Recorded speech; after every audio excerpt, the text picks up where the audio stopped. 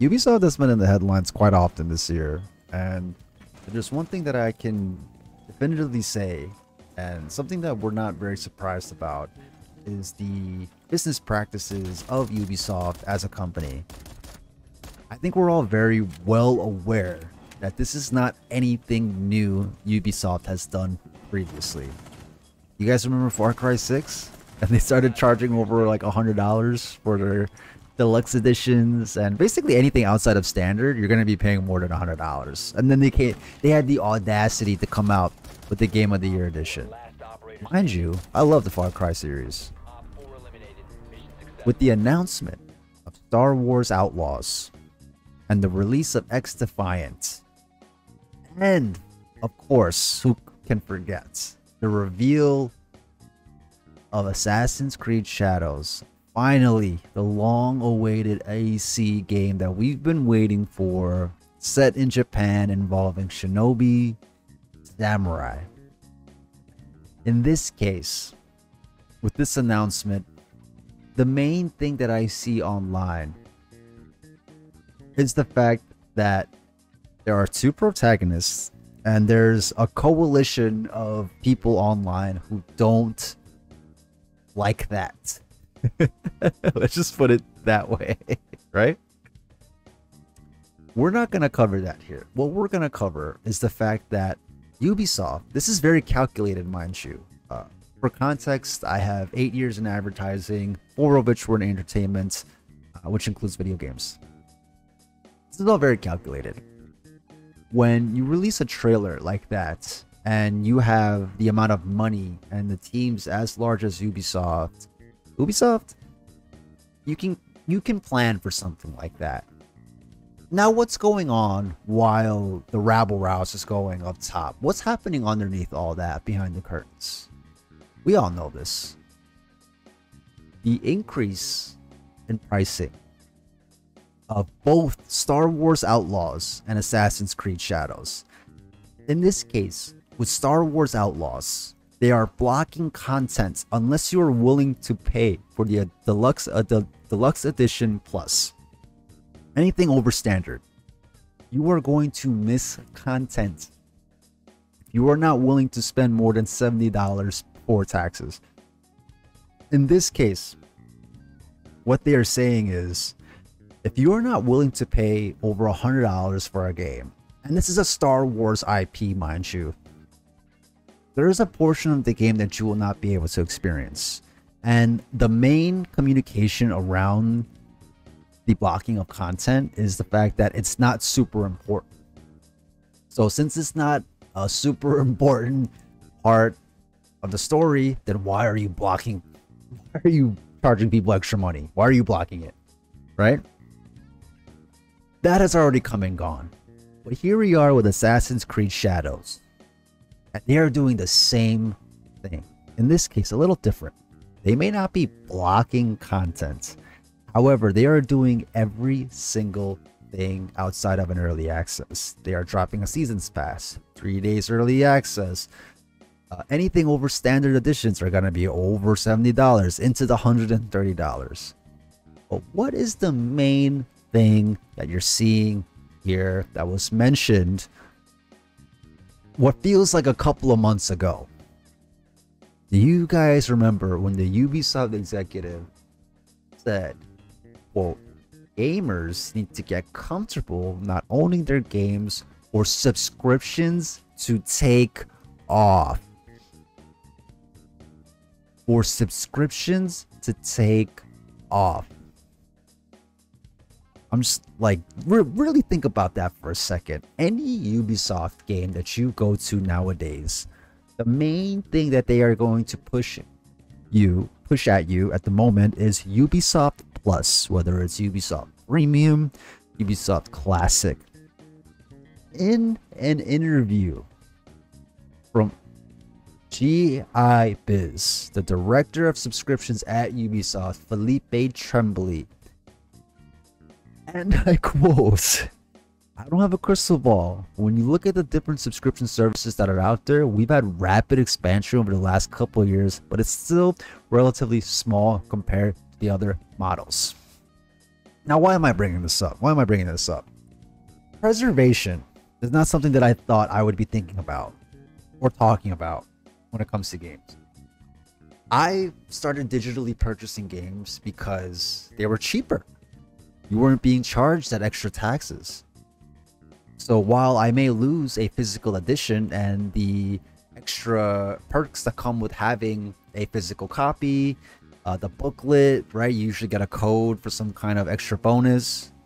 I was willing to forego that so that I could pay a little bit less money to to enjoy the base game.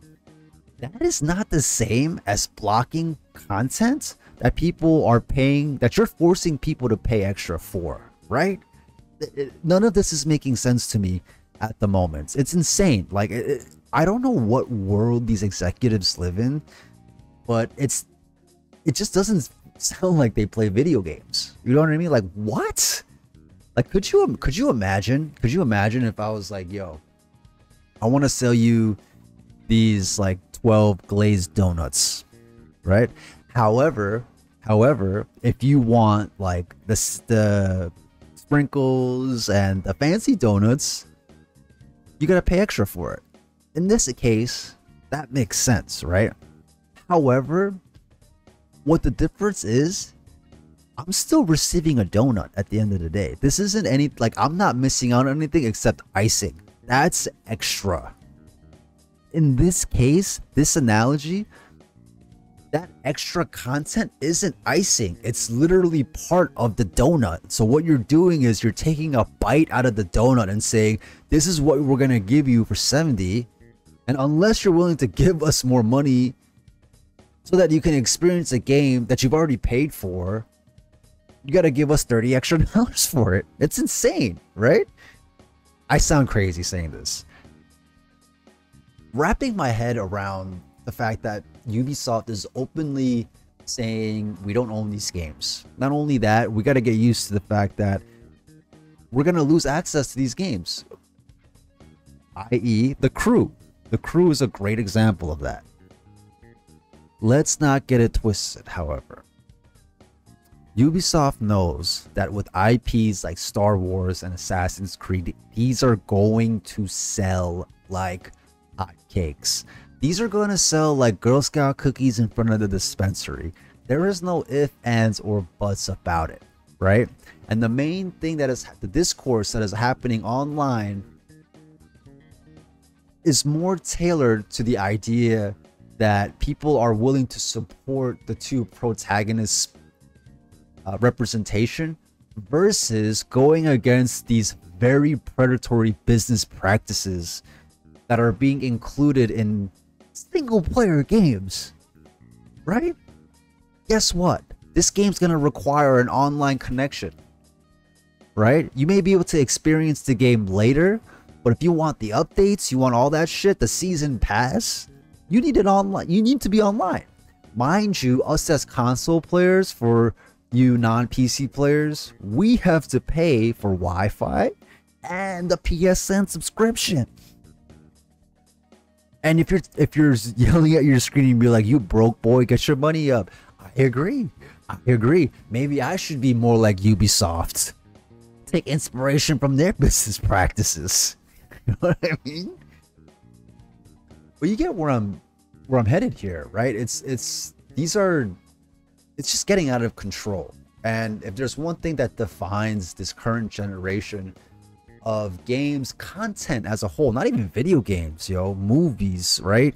Uh cable, they're like subscription services have become cable essentially. Everything that we were trying to avoid, commercials, right? Uh, let don't even get me started on elect EA trying to add thoughtful ads into our games right? For my 2K and FIFA players and Madden players out there, we already know that there's already going to be a ton of advertisements in the game. Don't even get me started on 2K TV and those unskippable ads in the sports games, yo. Don't even get me started, right? So, what is happening now is everything that we're seeing on the internet, like there's gonna be there's no ad blocker for consoles and PCs. Uh, you know what I mean? Like we can't block these ads from our games. There's no workaround. So the more that we're allowing these studios to get away with this. And by get away, I mean pre-ordering the games. You know what I mean? Uh, not just pre-ordering the games, but buying it on multiple platforms. So on and so forth. Like the we as content consumers, the only way that we can really revolt is by showing it with our wallets, and which is very unfortunate. We were able to get a few other games to open up their doors, Square Enix, right? Nobody is no not not a lot of people bought uh the big Square Enix titles that have come out, i.e. FF16, i.e. Foamstars. but we are at a point that us as consumers, I don't know about you guys, like I am like this is getting out of control, man. This could be a very old head take because I know the generation or two uh, after millennials are used to this experience. They're used to the fact that everything is alive and subscription service and you know uh, tailoring to that demographic. I don't know how you guys feel, but uh, us older folks, man, this is this is just not this is not okay, man. This is like you're telling me that I'm gonna spend almost a hundred dollars. Let's say I buy the Mac the collector's edition, which is like over a hundred and thirty dollars, right? And you're gonna tell me someday, somehow, that Ubisoft is gonna have the ability to take this game away from me? That's insane. My whole take on preservation has changed because I went from buying digital games to save money to being charged the same amount, but when you go buy a physical disc, like when you buy a physical copy, you get like some bonuses. So it's like it's just insane, man. Like it's just it's so crazy, and all I can say is, don't pre-order the game.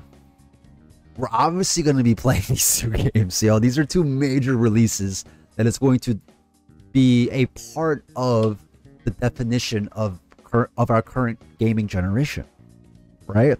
Uh, don't even get me started on some of the releases that are coming out, i.e., Elden Ring, the new DLC that's gonna come out. That's gonna it's gonna break the internet.